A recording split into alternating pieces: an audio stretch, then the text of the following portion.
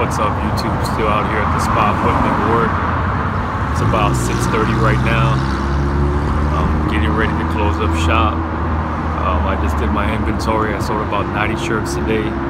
So I want to sell about 10 more so I can hit that $1,000 mark. Let me see if I can hit that. All right, YouTube. So I just finished up here. Uh, it's about 8:30 right now. I hit my thousand dollar mark, and uh, thousand bucks for one day's work. Not bad.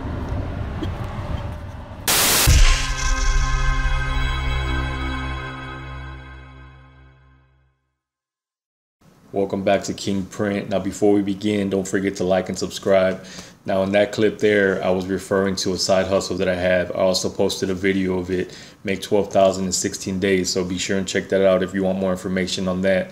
Now, what I'm doing here is I'm actually picking up a check for an order I'm about to make these guys and I wanted to make this video here to show you all these shirts that I've made uh, for these guys throughout a few years. This is one thing not to overlook that a lot of people do is your mom and pop shops in your area, you know, offer your services. This is a pretty good account for me for the year. It's been ongoing for, you know, a few years now. Uh, so don't forget if you're looking for different ways to drum up new business, don't forget your mom and pop shops. What I found a lot of times is that they are looking for merchandise for their business, but they just don't know where to go or they just don't have the time to be going out because they're running their own business. You coming to them saves them a lot of time.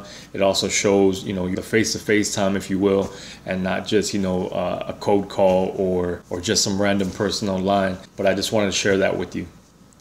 Okay, so this video here is actually on my new hustle, a side hustle that I'm doing. Um, and I just started doing this earlier this year. And you can see here I'm setting up. What it is, it's a, a photo booth. Now these photo booths are pretty lucrative. You can make a few hundred bucks a night, just depending how many hours you book for. Now here I booked for three hours and net I made uh, $300 uh, and only working three hours. Now they actually wanted me to go an extra hour. Uh, was gonna pay me another hundred bucks, but I just couldn't stay. I had uh, another obligation I had to get to, so I couldn't. But if I wanted to, I could have made another hundred. You know, this day right here.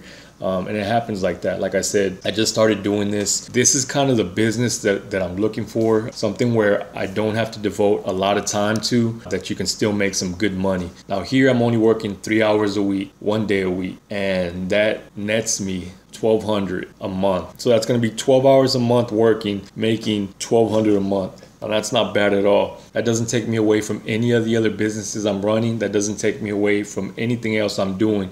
It doesn't put much of a strain on me. All it's doing is just padding my income for the year. So if you add that up, you're going to be making 1200 a month for 12 months. That's 14,400.